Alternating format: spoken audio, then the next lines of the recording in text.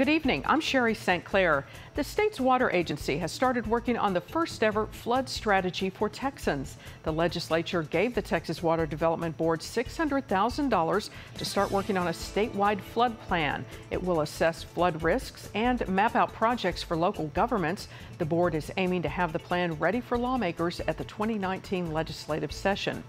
A new plaque in front of the Bexar County Courthouse honors recipients of the Texas Legislative Medal of Honor, the highest military award in the state. Each marker includes the name and rank of the award recipient. The memorial includes eight deceased veterans, each of whom had various ties to Bexar County or South Central Texas. Only 12 people have ever received the medal. We have more news online. Find us at klrn.org/news.